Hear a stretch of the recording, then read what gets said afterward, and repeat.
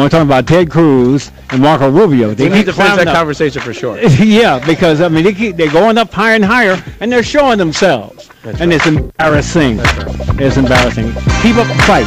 Thank you so much. Love to come back. Yeah, thank you so much. You, yes, sister. Thank you as well, Bertha Lewis. It's a pleasure as always. Reverend Al Sharpton always says, the leader that you're looking for is in the mirror. Just look for him. All right. I'm Bob Slade, sitting in for Rev. Thank you very much. The convention continues.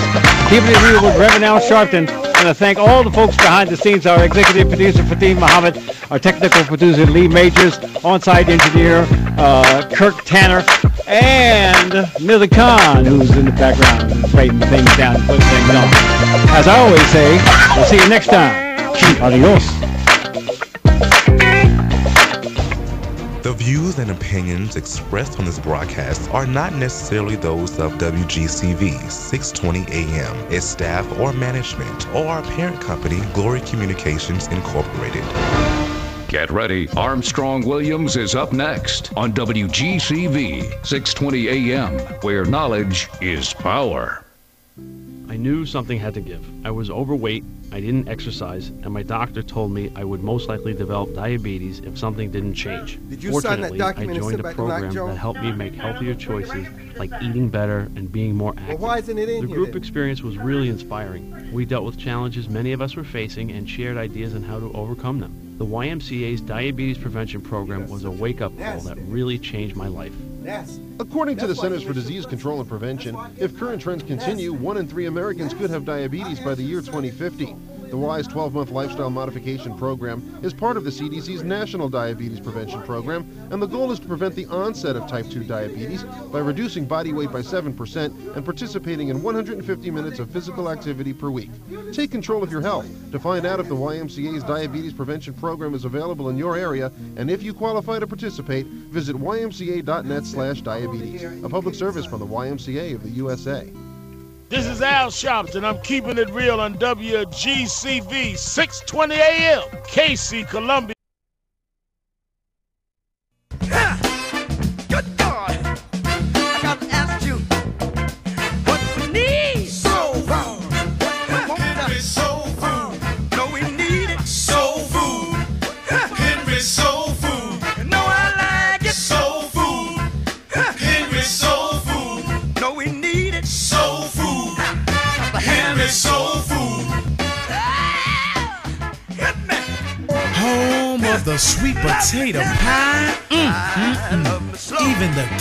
Keenest taste buds will tell you the best food on the planet. Large enough to serve you and small enough to know you. So get the Henrys at 5431 Indian Head Highway, Oxon Hill, Maryland, or give us a call at 301 749 6856.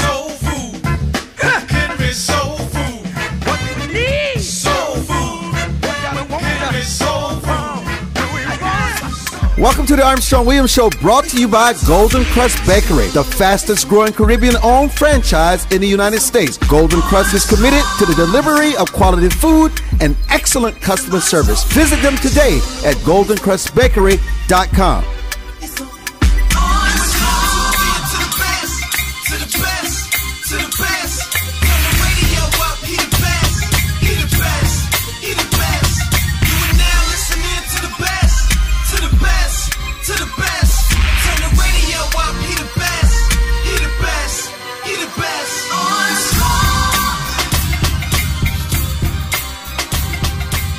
Hello, everyone, and welcome to this uh, edition of the Armstrong Williams Show. Thank you so much for joining us. Logan Delany, welcome back from the motherland. Well, thank you, Armstrong. Good to be back. Good show last night, Logan. Good show. well, hey, listen, Armstrong, we don't strive to have bad shows. You know, you, you, you strive for every show to be better than the last. It's only an acknowledgement that you're getting wiser and better. well, thank you. It's only an acknowledgement, Logan Delany. That's all it is. Michael Maddock, how are you today? I'm great, I'm Armstrong. How are you doing? Uh, I'm pretty good, actually. Michael Maddock uh, is CEO of Maddock Douglas, which advises Fortune 100 players like GE and Walmart. You know, I, I, I start reading these bios and what the guests are going to talk about early on in the day uh, is interesting. Um, uh, this is interesting. We're taking a moment to consider today's largest, most recognizable companies' logans. Some of them won't be around in the next few years because they'll suffer a Napster moment, uh, according to our guest. Uh, and Napster was a rule-breaking company that paved the way for iTunes and the complete disruption of the music industry. And so when someone like Napster, who has no business being in your business, come along and puts you out of business, they call it a Napster moment. And so Napster moments are happening more and more often, is what our guest Maddock, co-author of the Free ID Monkey, um, talks about. So, um, so talk about the Napster moment, and you're saying companies won't be around. Uh, I think you're talking more in the genre of technology.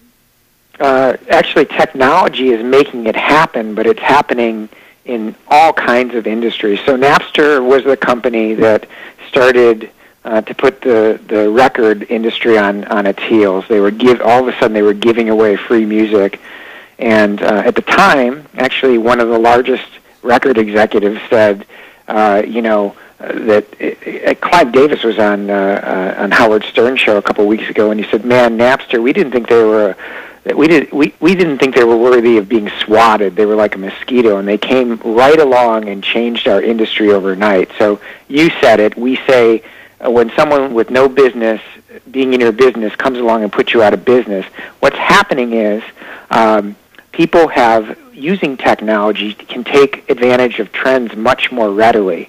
So there are tensions in the market. There are new ways for consumers to get what they want more readily and um, and they and they get it. And what happens is these big companies in industries like healthcare and higher education and publishing and travel. I mean, you're in media. Look at this. Look what's happening to newspapers. They're going away uh, because why?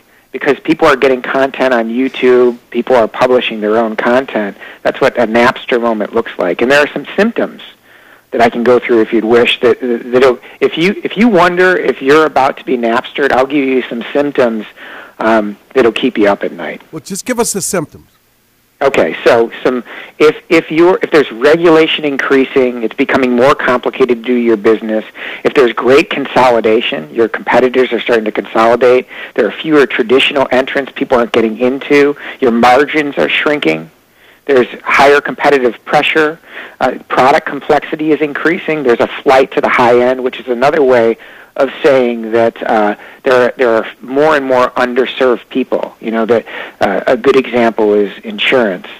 We wrote a book recently called "Flirting with the Uninterested," and in insurance, uh, their insurance agents have been calling themselves financial advisors for a long time.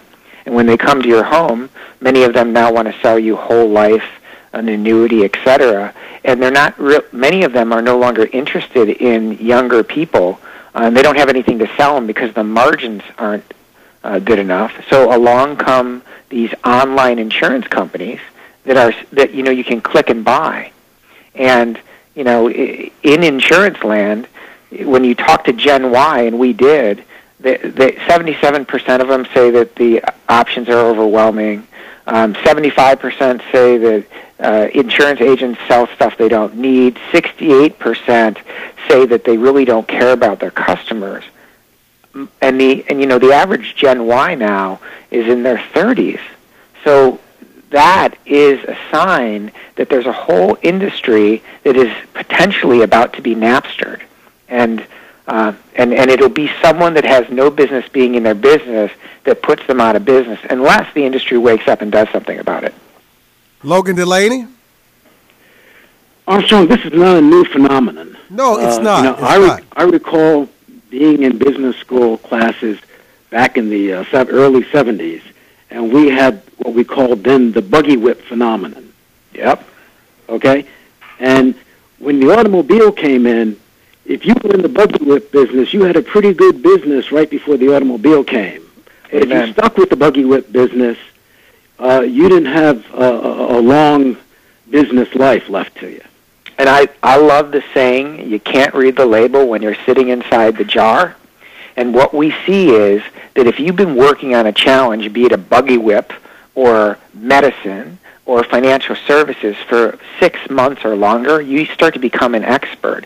And that expertise means that you know what works, you know what customers want, you know what you can sell, you know what you've tried in the past. You know, you know, you know. And unfortunately, that knowledge, that expertise keeps you from seeing possibility. You you literally don't see an opportunity when it's walking right in front of you. And that's why someone that has has never been in your business before can come along and go, "Well, why don't we do this?" So you look at companies like Amazon or Netflix or eBay or CarMax. These are companies that are run by CEOs initially that weren't from the industry that they disrupted. They just came along and said, "Hey, what if I sell direct? And, you know, I'll just add to that. I, I believe that business to business, B2B, is dead. It's dead. And what I mean by that is not the not selling through business to business channels, but the idea that if you go to your customers, your business customers, and ask them what they want, more than often they're now wrong. You need to go to end consumers and understand consumers um, the changing needs of the impatient consumer much more readily. And the company that knows how to do that better than their competitor wins. And that they might choose to sell through grocery stores or a B2B channel, but they'll make the, an informed decision and they'll be telling that channel partner what they ought to be selling at what price and why, and they'll be right. Uh, so let me let me um, let me delve in this. I, am looking closely because I don't want to get too into this before we go to a break, but um, you know, this is really about innovation, and it's also about preparing yourself for people like these, the Napster and the Napster moments, because you know the, the thing about business, it can last hundred years, but they die so others can sprout up and grow a new economy. It's sort of like my farming concept and plant my garden. That traded tree's been there for 50 years and has done well for me, but now there are other things that need to grow and need light and that tree doesn't produce as much as it used to. So I need to cut it down so something bigger can grow and more expansive. So mm-hmm. isn't that shouldn't we be able to prepare that? Isn't that what a part of what, what being an entrepreneur is all about? Well, I there's you know I've spent the day sitting with young entrepreneurs. Uh, and and I'd like to think that I still am one, although age is catching up with me. I, I believe in the entrepreneurial dream. Believe me, I, I think that I have nothing but tremendous optimism and hope for the role of entrepreneurship and technology in making things better. However, there are people like like doctors. You know, what what is the role of a doctor when you can pee in your toilet and your toilet says, "Hey, you're sick and this is what you need and I've already called in a prescription for you." Because that technology exists today. Where's the doctor in that? And the, unfortunately, in many of our systems, we're going to the doctor to ask them what's next in healthcare, and, and they are being incented not to see it, or they don't see it. They just don't see it coming.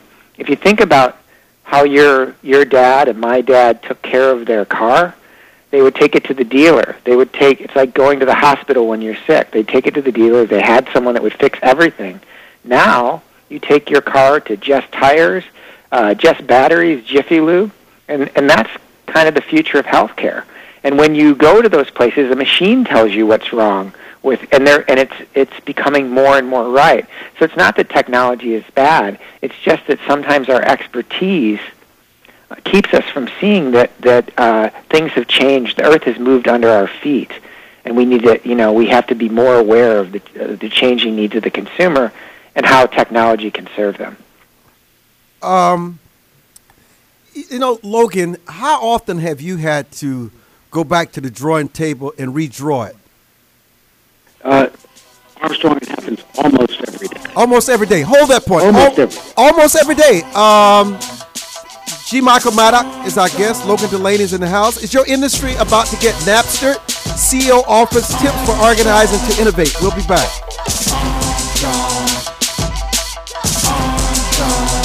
Say bye-bye burgers, pass on the pizza, forget the francs. Anytime is party time. Discover Golden Krust's authentic Jamaican-style patties. Beef, chicken, vegetable, soya, spinach, and shrimp. Mm Feast on our great taste sensations.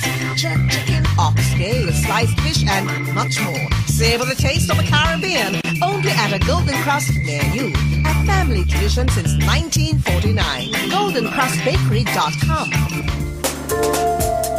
For more information on the Armstrong Williams Show, please visit our new website at www.rightsidewire.com. There you can find his syndicated column archive, view live streams, and get your favorite conservative pundits' views on the current issues affecting the American people. From building wealth to foreign policy, stay connected with Armstrong Williams and his colleagues at the all new www.rightsidewire.com.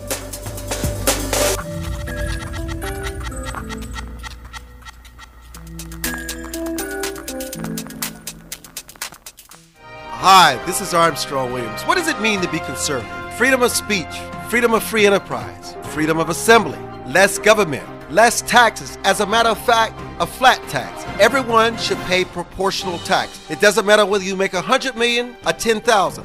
Everyone should pay their 10%. Everyone should have something at stake in this American economy. I'm Armstrong Williams expressing what we mean by conservative traditional value. Does your school, team, church, or charity need a new fundraiser? Do you need to work out of your home or part time? Are you a small business that can use an additional revenue stream? Then you need Yellow Llama. Do you need affordable web services or tools to enhance your existing business? Are you a graphic artist who wants to create a revenue stream with your art but not get ripped off? Then go to www.yellowllama.com. America must change course if we hope to survive and save the American dream for our children and grandchildren. How do we fix Social Security and Medicare? How do we cut government spending? How do we reform healthcare? How do we simplify the tax code? The Heritage Foundation has a bold plan that tackles these tough problems using common sense solutions that leave partisan politics on the sidelines. Find out how we can save the American dream at savingthedream.org, paid for by the Heritage Foundation.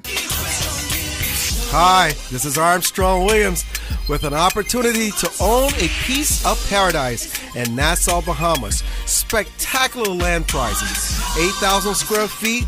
20,000 square feet lot, affordable prices, hilltop properties with views of the magnificent sea. Just call 242 677 3120 or 3121 or go to info at rightsidewire.com and leave your information. Where heads of state, sports, entertainment, and political celebrities meet. You're listening to Armstrong Williams. And our uh, very distinguished guest, G. Michael Maddock, Logan Delany. You're saying every day, Logan? Every day? Look, Armstrong, every day when you're in business, you have course corrections. And if you don't have a course correction every day, you, you, you're, you're doing something wrong. And you have to be responsive to the market. And the market changes every day. Every, every time you come across a customer, you have to be responsive to that particular customer's need. And you know, you know, if you look at it long term, you know, I, I saw an interesting statistic a number of years ago, which looked at the number of Fortune uh, uh, 500 companies that were in existence at the end of World War II, and how many of them are still in existence, and in, in, in their present form. And surprisingly, it's less than 20 percent of the companies that were around uh, 70 years ago are still around today in, you know, in their current forms. Yeah, the actually the the average. I'm sorry to interrupt you, but I just want to build on that point. The average lifespan of a Fortune 500 is less than 40 years. It's half a lifetime. Right, right, and and so what you know what happens? You know, if you look at successful business, what makes for a successful business is somebody who responds to the market, who responds to technology, uh, who responds to their environment. And you, you, know, one of the wonderful things about capitalism is something that uh, uh, a great economist called Schumpeter called creative destruction, and that is if you're not responsive to the market, you you die. And but more importantly, when you die, something better takes your place. It makes the economy, it makes society more productive. It makes it richer. Uh, and it's, it's sort of like uh, nature, you know, or farm.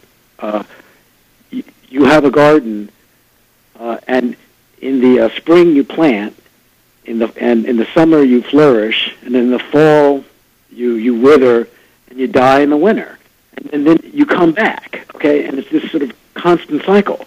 That's the way life is. Uh, you you get something better each year. You grow stronger, uh, or the economy does. You know, or or a garden gets stronger every year. It looks better every year when you take care of it, and you let things die a natural death, and then replant. And you have to prune. And What's interesting about the the, the big companies uh, having their own Napster moments is that they become conservative, and, and the the market actually conspires. Quarterly reports conspire to make sure that they're running at you know we got to hit this number this quarter, this number this quarter, this number this quarter. So they become really good at squeezing efficiency out of the model they have. But you know, when And you they- say when you say large companies, you give the impression that it doesn't happen to small and medium-sized companies. Well, what happened? It, it, I, they they have two. They have opposite problems. From my experience, small and medium-sized companies tend to be more entrepreneurial. So they, you know, when you have an entrepreneurial mindset, you're so often looking for new opportunities that you don't get around focusing on one thing or two things that matter most. In other words, you're you're drawn to new ideas to the point of distraction. And on and with large companies, they're drawn to efficiency. And and when you train, when you when you when you when Jack Welch came into GE and Six Sigma'd everything. I mean, he was he the the pendulum swung to the point where they are the best, one of the best companies in terms of process and mitigating risk. The challenge is that you need to be able to take risk. You need to be able to fail forward in order to be inventive. And you know, there's a quote that I'll that you know talking about GE and the light bulb. Uh, you know, the light bulb wasn't invented by iterating the candle you have to jump off track and do something different. You have to take a chance. And so it's interesting how big companies uh, squeeze and squeeze and squeeze and become, you know, incremental in their ideas. And small companies are the ones who will go, well, I'll just try something different because they have less to risk. The real action is actually with companies that know how to, uh, you know, how to focus and take risks, and they've become very good at it. And and and there are companies that know how to do that. They do it consistently. So there's hope for for small companies and big companies. I, I just think it's interesting that these giant companies that have so much leverage and so much money and so much power can be caught unaware by little upstarts that, that have no business being in their business. And But I, let me, let me challenge. quote. Let me challenge. Let me challenge your Please. assertion. Okay, so you're saying to me, and, and what you're saying is actually practical. There's no doubt about this, and there's a lot of real, real realism in it. But however, um, you're also implying that if companies were not so much playing it safely, if they were more, if they were less concerned about efficiency and the stability, and, and was more uh, prone to take more risk, to be bitten a little bit, that companies like Napsters and these other things that take companies out that come along would be minimized, or almost non-existent.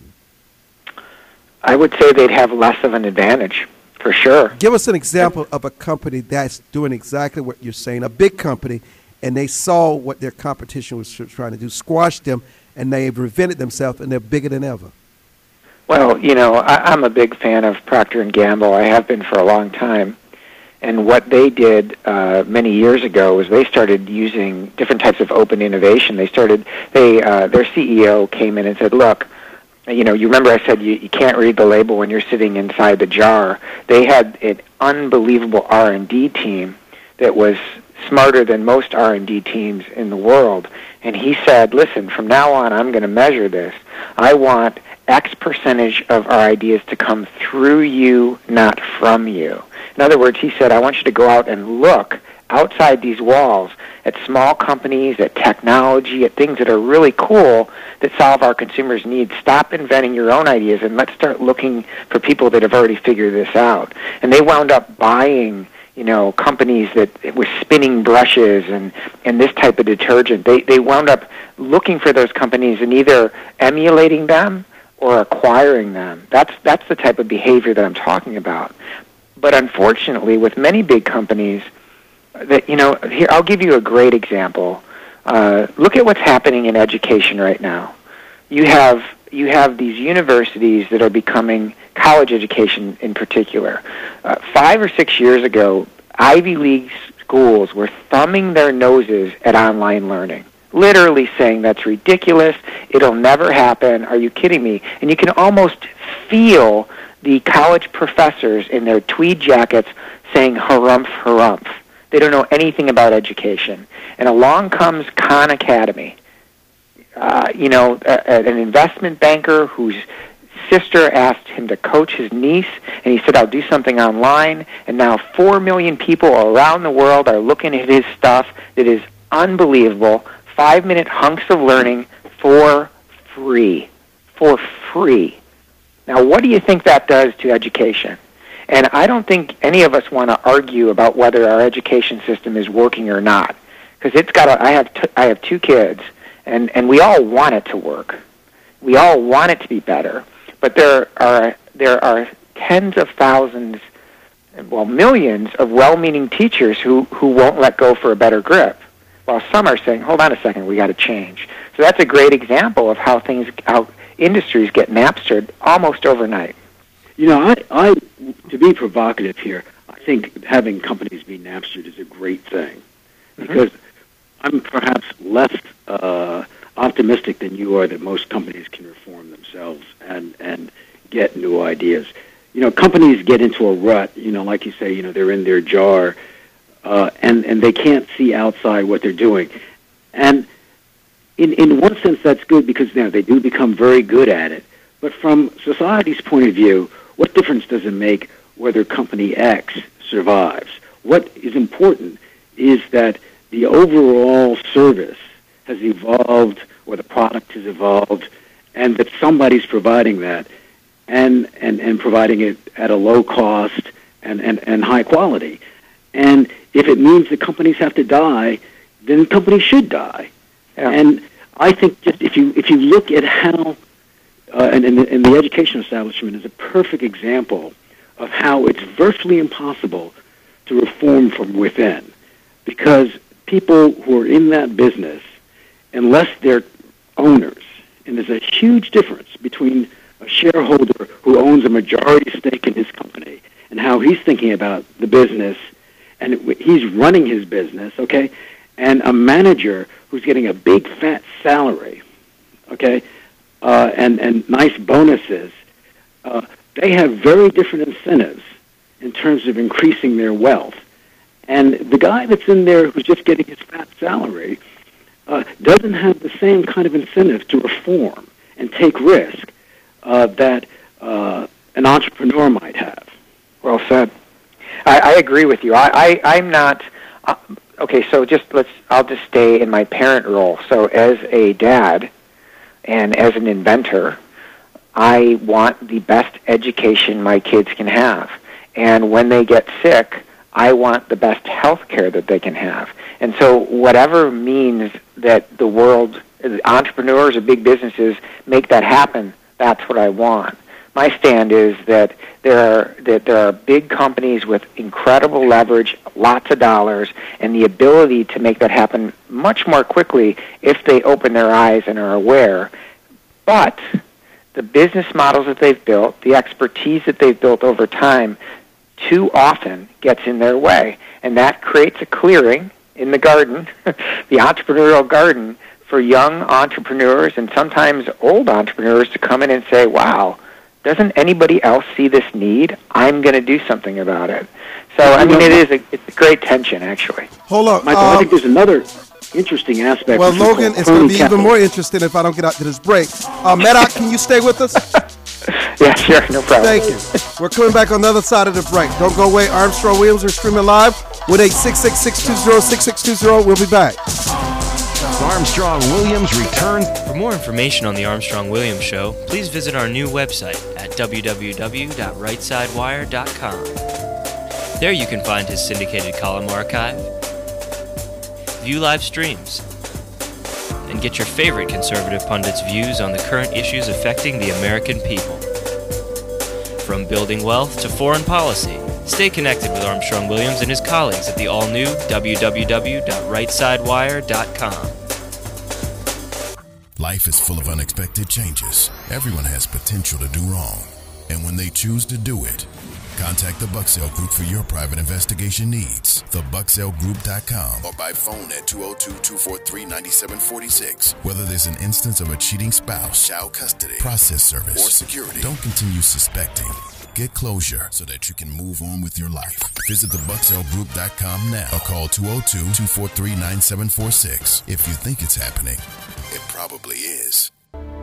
To travelers along the road of life who have fallen asleep at the wheel, to the many who woke up in time to avert disaster and get back on the righteous path. For the ones who crashed and survived and now adhere vigilantly to a virtuous and righteous path. Finally, Armstrong Williams' much anticipated new book, Reawakening Virtues, gives his insights into these daily challenges and much more. Reawakening Virtues is available in bookstores and at Amazon.com.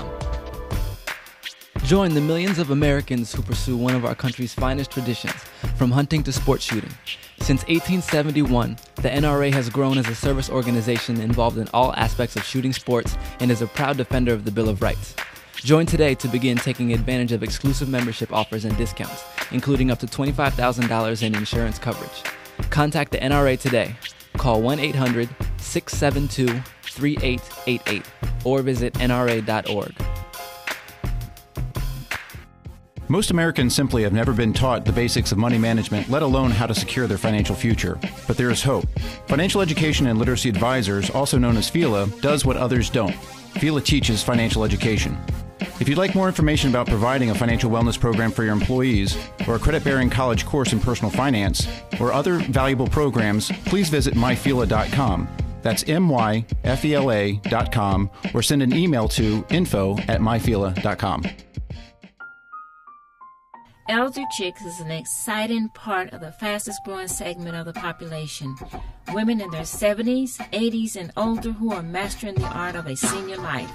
We're no longer unseen and unheard. We're providing role models for each other and the baby boomers who are fast approaching retirement. Join our virtual community. Hit www.elderchicks.com on your computer keyboard.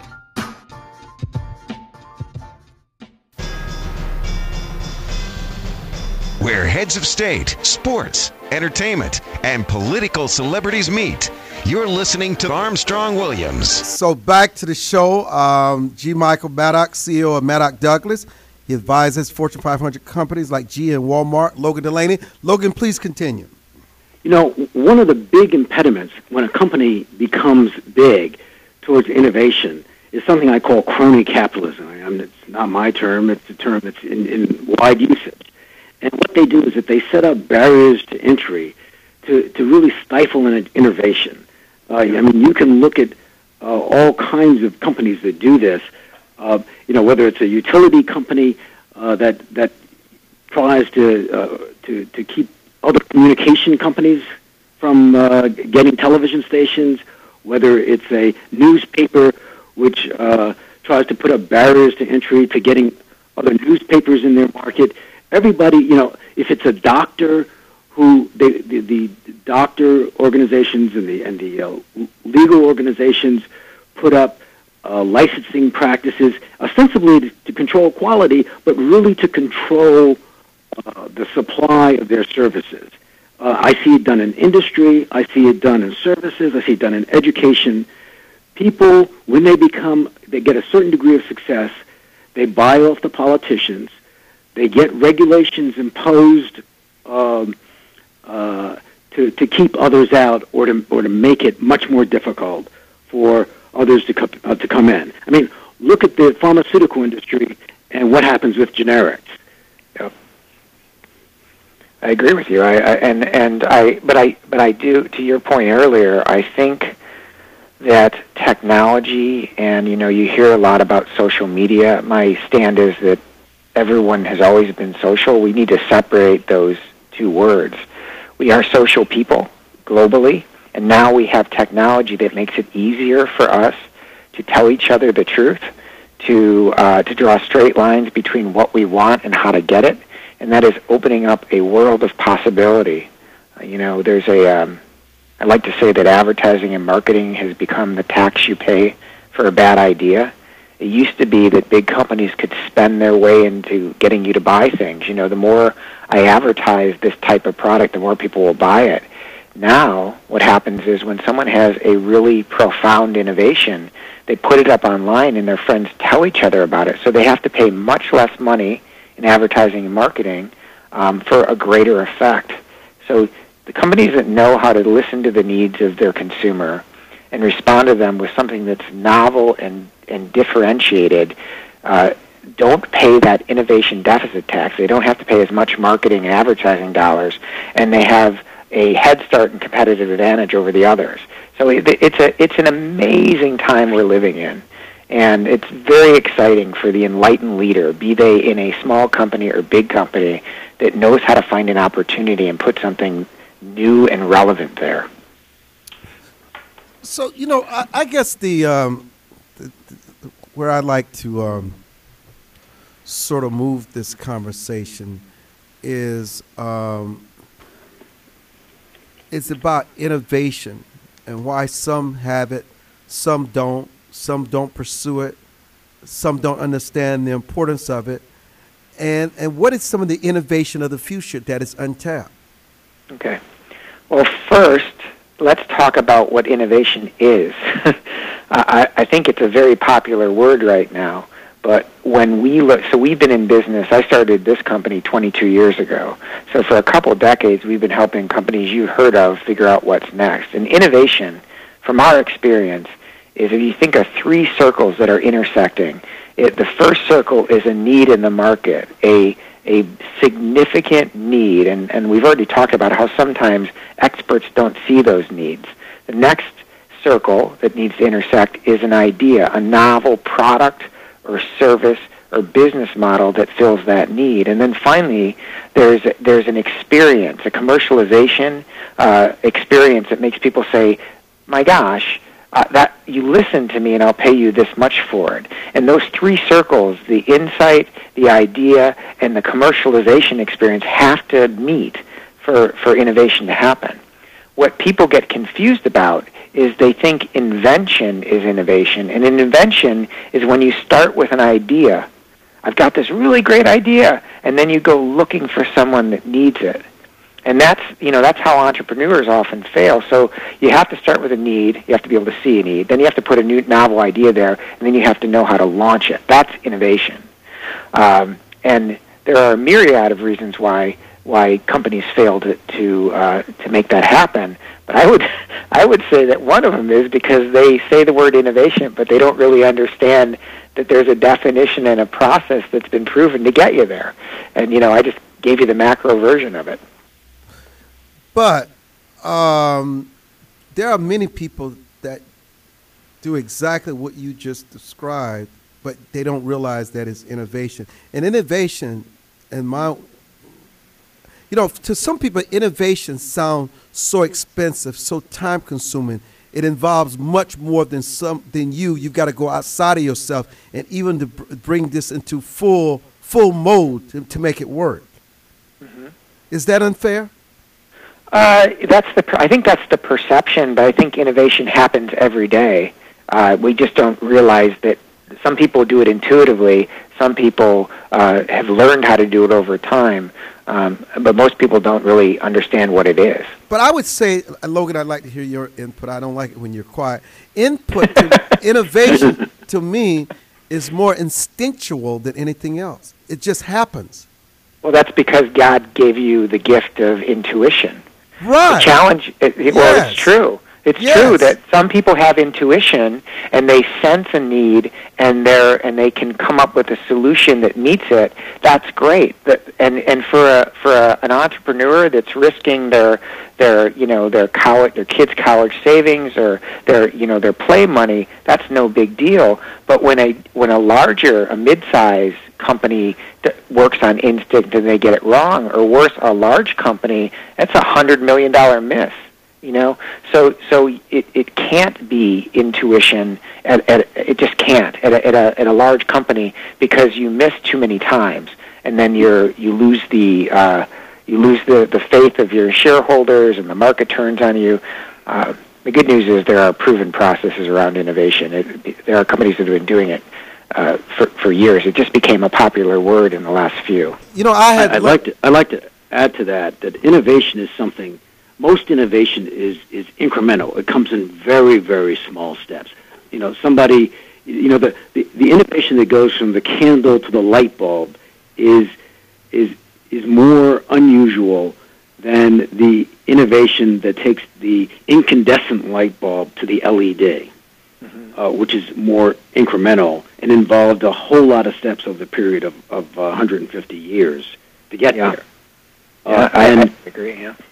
And and and I think that people who uh, you know who, who look at innovation also have to recognize is that there's just not physical, and I think Michael was pointing this out. There's just not physical innovation uh, that uh, you know somebody comes up with a new product, but there's innovation of how you get that product to market, how you get people to think about the product, product, how you get to uh, you know the the intellectual property, like in software. I mean, software. If you think about it, what is software? Software is is somebody sitting down and and writing a program that does something slightly differently, and it it it requires a lot of incremental. There are very few programs, almost no programs, start from scratch with binary language. They start on the basis of you know binary language to machine language to you know whatever the the uh, uh, the language is, whether it's C plus plus or whatever. Uh, and, and and it comes from a need. You know, listening, And- Logan. You know, listening to you, uh, this is interesting because I'm realizing in this conversation, um, uh, it's something I never thought about actually. Listening to you and Michael, is that business innovation and financial innovation is not the same, because if you think about the financial innovation, you think about all these terms that were just created. I mean, the junk bonds, the credit default swaps, the securitization, the index funds, the currency swaps, and you, I could go on and on and on. And, and what they're saying to you, what they say to you in the financial innovative space is that you innovate or die. And, and that the phrase that popularized w- w- actually in Silicon Valley in the, in the 1990s, and, it's, and today is sort of um, the mantra throughout the business world, and nowhere has it been more popular than on Wall Street, which in recent years has churned out a seamless, endless stream of new ways to manage capital and slice and dice risk, and we pay a price for it. Uh, Well, you know, I'm sure that there are plenty of people on Wall Street that, that that would argue that they had a need and they found a novel way, a business instrument. Of course, meet you would say need. that. Of course. Yeah. Wait, wait, hold on. I'm, Well, you I'm going to I'm going to intervene here because I happen to be oh. very much involved in the junk bond Oh market. boy, here we go. the 80s. I was a Boy, partner struck at a Drexel chord Burnham. here. We struck Giddy a chord. Michael Milken, back in the 80s. I can tell you how the junk bond market got started. It- The junk bond market got started because companies failed, okay? And somebody had to buy those bonds. And what we found out is that while Let me go to break. Hold up. I'm coming to break. But let me say this, and I'm glad I get to say it. While Silicon Valley's innovations have brought enormous benefits to society, I'm going to say this. The value of Wall Street innovation seems a lot less clear. We'll be back. Say bye-bye burgers, pass on the pizza, forget the franks. Anytime is party time. Discover Golden Krust's authentic Jamaican-style patties. Beef, chicken, vegetables, soya, spinach, and shrimp. Mm. Feast on our great taste sensations. Jerk chicken, oxtail, sliced fish, and much more. Savor the taste of the Caribbean. Only at a Golden Cross menu. A family tradition since 1949. GoldenKrustBakery.com. For more information on the Armstrong Williams Show, please visit our new website at www.rightsidewire.com. There you can find his syndicated column archive, view live streams, and get your favorite conservative pundits' views on the current issues affecting the American people. From building wealth to foreign policy, stay connected with Armstrong Williams and his colleagues at the all new www.rightsidewire.com.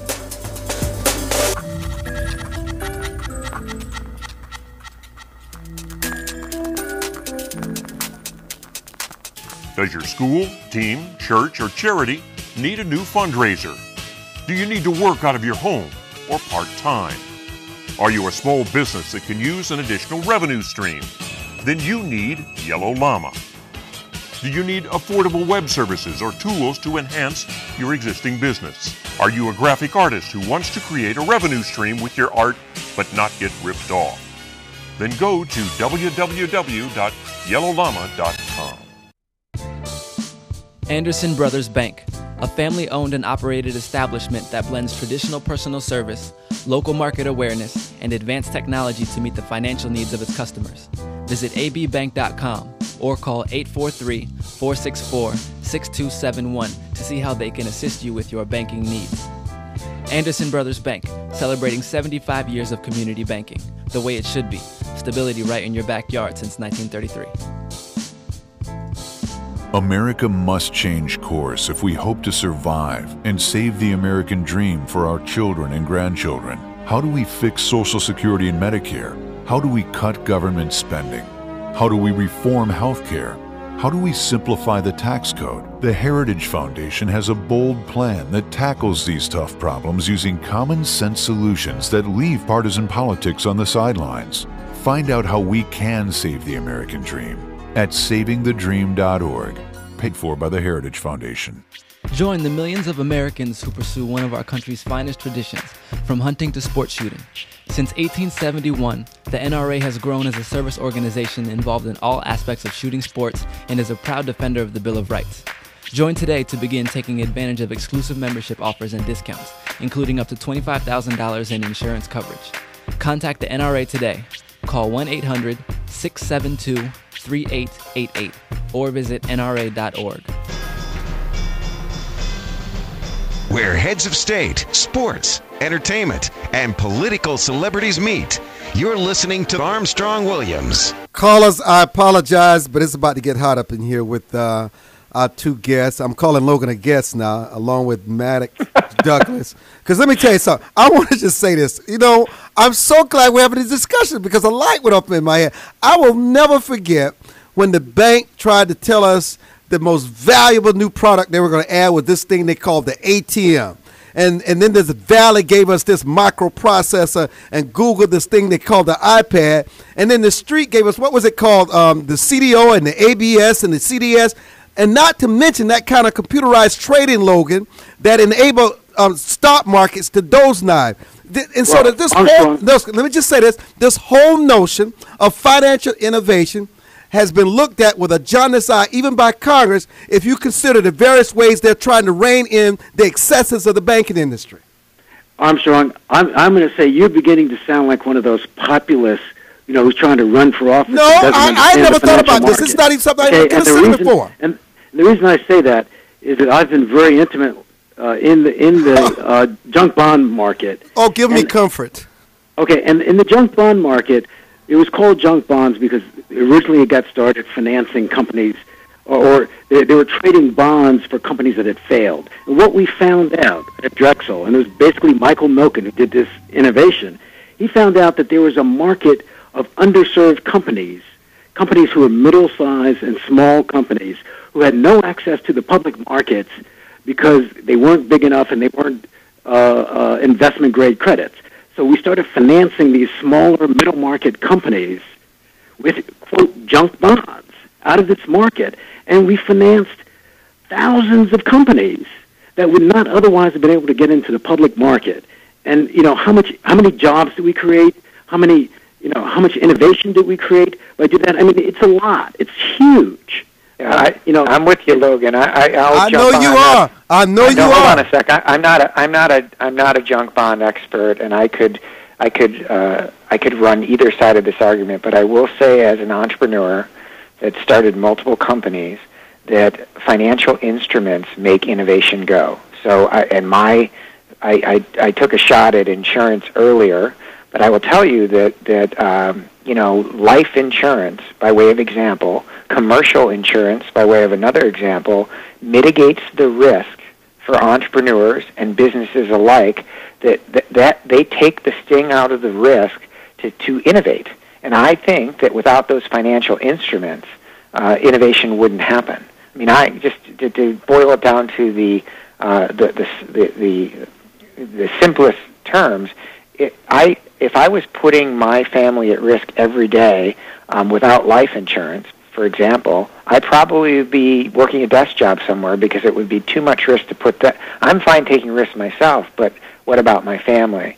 So I mean, there's a, there's there are two sides to every one of these coins, and I uh, now just switching sides of the argument, Armstrong. Oftentimes, what we see is an innovation that started well intentioned is then misused. You know, it's it's it's taken advantage of, and and and that's where you you know these financial instruments, for example, get a bad name. And if someone, if there is an insurance agent that's selling something to a friend that they wouldn't buy for themselves, there's a problem.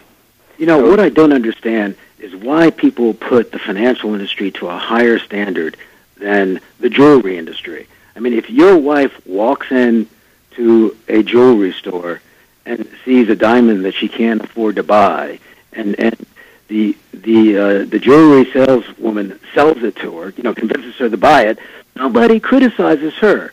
But you know, if an insurance salesman, you know, en- en- encourages you to buy some insurance policy that you can't afford or mortgage-backed security, I mean, you know, what happens? You know, why can't you take the blame yourself because you was too stupid or uninformed or didn't do your homework and you did something stupid? We all do stupid things like buy the diamond we can't afford. Okay, so I'm going to say that you can't protect people from their own stupidity. But I think you're missing something here. You're being unfair here. I'm not missing We're talking- anything. listen, some What of these am instru- missing? some of You- these you instruments. can't- Come you on can't now. You're being person di- look, look. You're better than that. You're better than won't do their these. You're better many of than these- that. I love the Many of these instruments was put in place to fleece people. Come on, That's man. not true. They were corrupt. is not true. they Oh, were not. They were. They were invented to solve a problem. They were invented to appeal to um, a certain group of investor that wanted to, you know, have a higher rate of return, wanted to mitigate risk, who wanted to have certain maturities, who needed to have a certain uh, uh, credit structure. These instruments had a purpose. There are people who may not have understood the, that and bought them, and it was inappropriate. But you can't blame the salesman for selling something to somebody that uh, you know they don't have a fiduciary obligation to you. The salesman's job is to sell stuff to you. I like it It's when your the job market as, as a consumer to say, "Hey, this is not appropriate to my current station in life."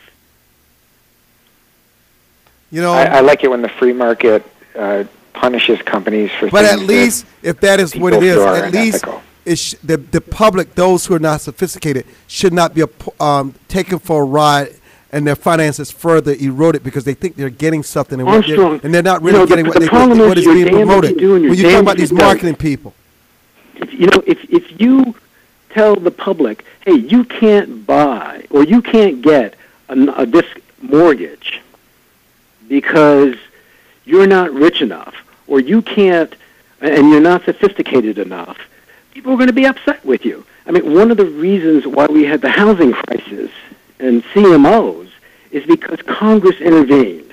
And Congress intervened by saying to the mortgage industry, hey, look, you've got to make these instruments available to people who are lower income and who probably can't afford them. Okay?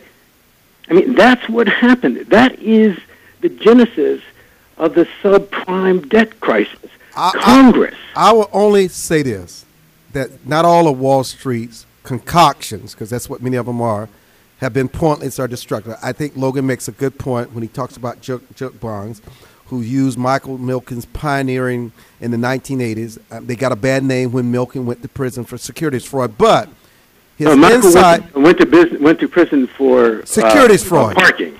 for securities fraud. But it wasn't securities fraud. But his okay, that's your perspective. We'll argue that. mine. That's a different question altogether. Okay, but let me make my In point. your opinion. His insight that high yield bonds could be a good investment, that historically the rewards outweigh the risk, allowed new companies, including eventual giants like Turner Broadcasting in my industry now, and MCI, as well as countless small businesses, to raise billions in capital that previously would have been out of their reach. I will give him that. Gentlemen, gentlemen, here's the thing. There's, y- y'all know what Nobel, the Nobel Prize, you know what Nobel came up with? Well, after they, after they gave it to the president for doing nothing, it just lost Well, its no, no, luster no. with But me. uh, hold on. That, that, Yeah, yeah, he's- he- he invented dynamite. Easy, art. yeah, he invented dynamite. He invented explosives. I know, I know. So, so, so the question is, um, is that good innovation or bad innovation? Good. And, it's good. Yeah, there's a. Well, okay. Uh, there were there are plenty of people that would argue the opposite end of that. I think that when you when you create an instrument, it can be used for good or evil. Absolutely, absolutely. And and and you can you can and so I, this it becomes a we could we could be arguing about financial securities. We could be it, arguing about dynamite. We could be arguing about um, health care. You know, and, so so it's it's a slippery slope. The the I think there's a certain amount of ethics that's involved with good innovation, where you're finding noble needs, I guess pun intended, uh, that, that, that are that are worthy of solving. And again, I like it when uh, there is a, a a capitalistic society that corrects aggressively corrects bad behavior.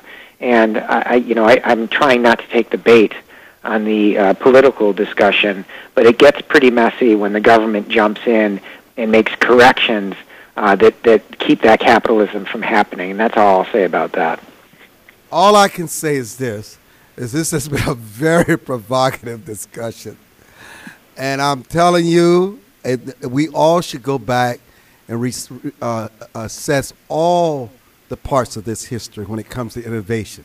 And yes, uh, um, and and so the bottom line, it's, it's I really appreciate this discussion because listen, I love it when I learn something. It, it makes me go back and connect the dots because sometimes we forget, and we need to understand all of it, not just some of it.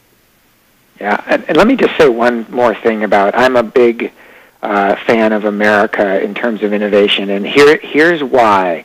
Here's why Americans, I believe, this is my opinion, right now, for for the time being, are better at innovation than anyone else in the world. Uh, number one, we're empathetic. We care about people. We we look to solve people's needs. And you remember my definition of innovation. You start with an insight. You start with a need. You have to have empathy. You have to be trying to solve something for someone. We're good at that right now. And number two, and this is really important, culturally in America, it's okay to fail forward. We celebrate the entrepreneur. We don't lose face when we fail. In other cultures, if you mess up, and again, in big companies, if you mess up, you lose your job, you lose your reputation. But for today, anyway, in America, it is noble to fail forward. That's why we're so good at innovation. So um, we should be proud. We should be proud of our ability to innovate. It's not going away anytime soon. I encourage enlightened leaders, whether- whether they be at big companies or small companies, to go find a need and believe they can solve it. Um, because they can. You know, we have the ability to do that right now at this moment in time. And I've really enjoyed talking to uh, both you gentlemen. You have no idea. Every part was important to today's discussion, and I'm sure our listeners, and I apologize for not going to the phone lines, have felt empowered. Thank you both so very much for your insights, your wisdom, and sharing your experience.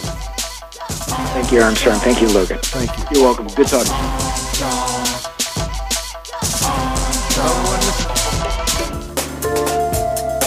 More information on the Armstrong Williams Show, please visit our new website at www.rightsidewire.com. There you can find his syndicated column archive, view live streams, and get your favorite conservative pundits' views on the current issues affecting the American people. From building wealth to foreign policy, stay connected with Armstrong Williams and his colleagues at the all new www.rightsidewire.com. America must change course if we hope to survive and save the American dream.